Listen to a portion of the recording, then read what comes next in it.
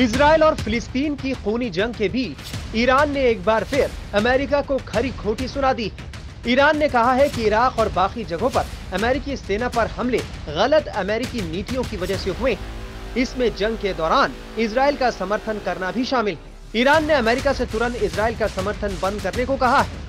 Iran ने तंज कसते हुए अमेरिका से कहा कि आज जो बोते हैं, वही काटते हैं। इराक और सीरिया में अमेरिकी सेना पर बार बार हमले हो रहे हैं। इन हमलों में बड़ी संख्या में लोग मारे गए।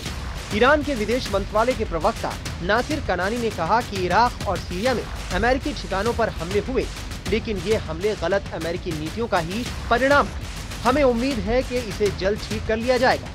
नासिर कनानी ने कहा कि इराक और सीरिया समेत बाकी जगहों पर अमेरिकी सैनिकों पर हमले उनकी उपस्थिति और इसराइल की ओर से किए गए अपराधों का समर्थन करने की वजह से हुए। इराक में अमेरिका के लगभग 2500 और सीरिया में लगभग 900 सैनिक सात अक्टूबर को हमास की ओर से इसराइल पर हमला किया गया था। जवाब में इसराइल ने भी हमास पर बमबारी की।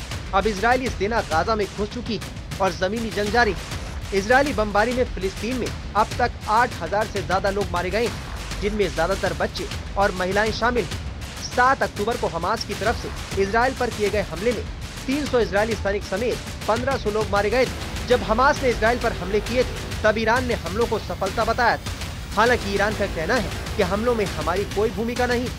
उधर अब ये बात निकलकर सामने आ रही है कि इसराइल पर 7 अक्टूबर को हमास के हमले अचानक नहीं हुए इसके लिए एक साल तक हमास और ईरान ने मिलकर साजिश रची। अब धीरे धीरे इस साजिश का खुलासा हो रहा है।